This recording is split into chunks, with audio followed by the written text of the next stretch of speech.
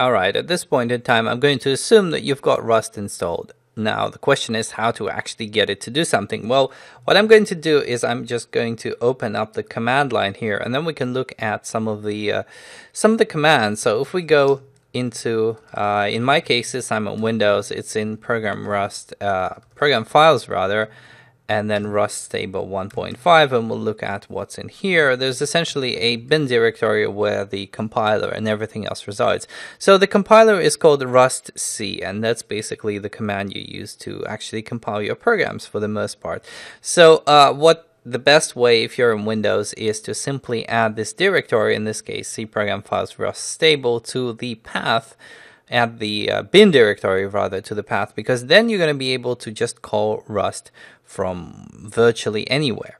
Okay, so uh, what I'm going to do is I'm going to do exactly that. So I'll set my path to what it was before, plus I'll add this uh, program files uh, rust uh, and then uh, bin to the path. So now I can call rustc from just about anywhere.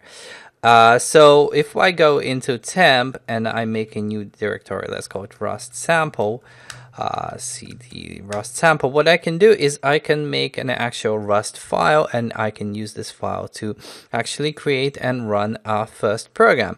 So that's exactly what I'm going to do. So uh, I'll use Notepad since I'm on Windows and the file is going to be called hello.rs.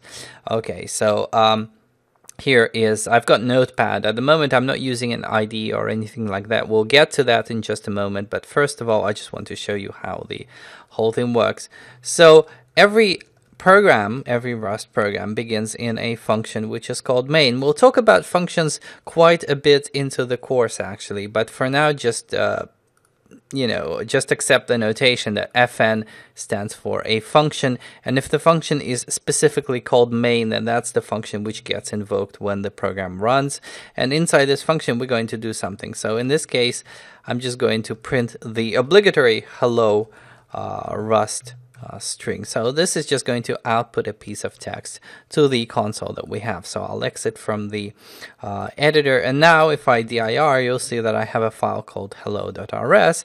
So I can do rustc hello.rs and that compiles the file. And if I do a dir, then I have a hello.exe. You'll notice that in this day and age, yes, a hello world file takes up two megabytes, which would be unthinkable a decade ago. But now it's totally normal. And if I run the application, if I run hello, then obviously I get my output. So this is the first ever application that we uh, write in Rust as part of this course. However, uh, for most of this course, I'm not actually going to uh, use a, uh, not going to use Notepad, not going to type in these uh, rustc commands manually. I mean, we'll we'll type a few more commands related to the cargo package manager, but we're not going to do much compilation from the command line. So this is something that we're going to talk about next, i.e. how to get comfortable in uh, working with Rust outside of an integrated development environment.